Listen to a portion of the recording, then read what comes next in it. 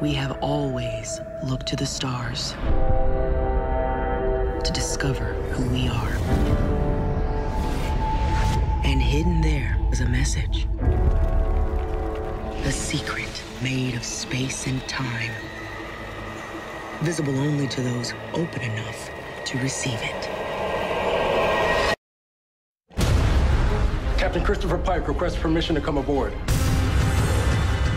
Well, Commander, this is awkward, but the best way to get into a cold stream is to jump right in. I'm here to take command of the Discovery under Regulation 19, Section C.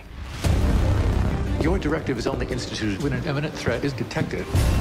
Federation sensors picked up seven red bursts, spread out across more than 30,000 light years. These mysterious signals are beyond anything we understand.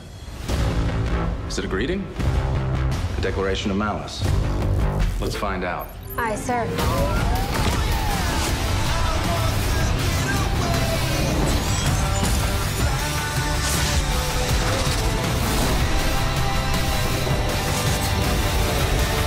Six seconds to impact. I am in total free fall. Trust us. Discovery has you, right, ladies? Oh, yeah, absolutely. Oh, dear.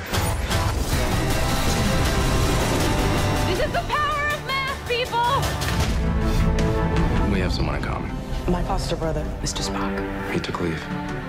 It's as if he'd run into a question he couldn't answer.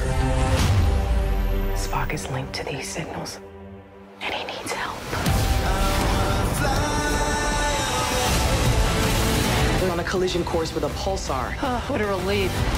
Thought we were all gonna die. Wherever our mission takes us,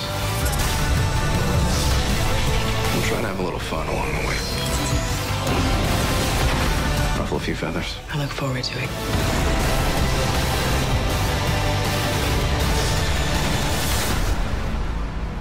Hit it.